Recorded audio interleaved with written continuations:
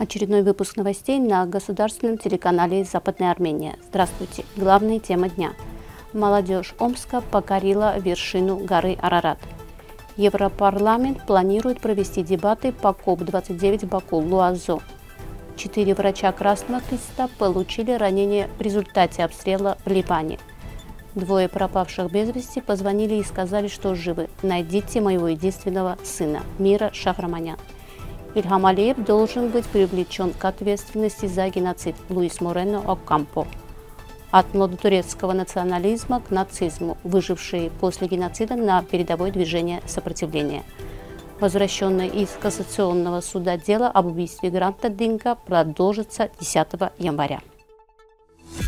Молодая группа жителей Омска, среди которых представители самых разных профессий, от инженеров до бизнесменов, покорили вершину горы Арарат – первый день 8 километров мы прошли пешком и переночевали под открытым небом. На высоте 4200 метров уже было снежное облако, видимость снизилась до нуля. Вид, конечно, потрясающий, особенно тень Арарата. Поход был приключением и возможностью проверить силу группы, преодолеть трудности и получить незабываемые впечатления. Так поделились своим впечатлением участники группы. По моей инициативе Европарламент может провести дебаты по вопросу КОП-29, намеченного в Баку. Защита планеты, конечно, важна, но проведение конференции в Баку вызывает серьезные вопросы. Об этом заявила депутат Европарламента Натали Луазо.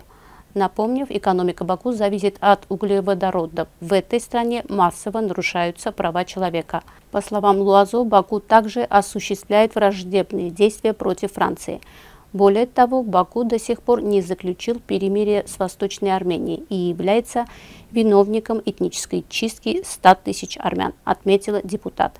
В свою очередь, конгрессмен США Фрэнк Полонне также выразил обеспокоенность. Власти Азербайджана не понесли никакой ответственности за свои деяния.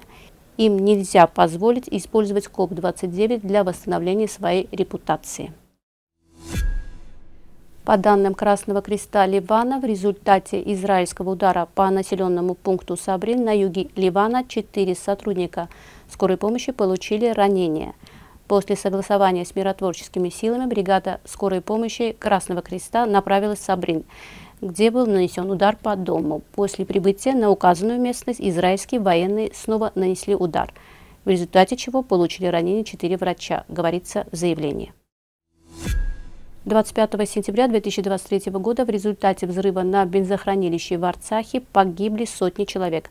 Судьба 22 остается неизвестной. Среди пропавших без вести единственный сын 63-летний Миры Шахраманян Армен Мовсисян. Мать уверена, что сын жив, отметив. Азербайджанцы перевезли раненых в Шуши и Окну. Мира обращалась в различные структуры, но спустя год все еще нет никакой информации – Шагараманян утверждает, имеются свидетельства, что азербайджанцы перевезли армянских раненых на лечение. Это мой единственный сын. Прошу найти моего сына. Президент Баку Ильхам Алиев должен быть привлечен к ответственности за геноцид, поскольку именно он возглавляет государственный аппарат и контролирует решения в политической, военной и дипломатической сфере. Он явно не подчинялся решениям Международного суда ООН. Также должно быть начато расследование в отношении министра обороны Баку Закира Гасанова и начальника Государственной пограничной службы Баку Эльчина Гулиева, бывший генеральный прокурор Международного уголовного суда Луис Морено Окампо. Международная научная конференция организована Фондом Музей Институт геноцида, посольством Франции в Восточной Армении, Французским институтом в Армении и французской театральной группой «Сад-Атр». Заявки можно подать на официальных языках конференции на английском и французском языках, отправив до 15 декабря 2024 года на адрес по указанной электронной почте. Заявки на участие должны включать заголовок отчета, краткое изложение, не более 500 слов и краткую автобиографию. Конференция пройдет в фонде Музея Института геноцида Ереван, Армения, дата 15-16 марта 2025 года. Дело об убийстве Гранта Динка, возвращенное из Кассационного суда, будет продолжено 10 января 2025 года. Судебный процесс возобновлен решением о начале нового судебного разбирательства в отношении некоторых обвиняемых. Среди обвиняемых 15 государственных чиновников, в том числе один из офицеров жандармерии Явус Каракая. Прокуратура потребовала осудить их за убийство заранее запланированным умыслом и за нарушение Конституции.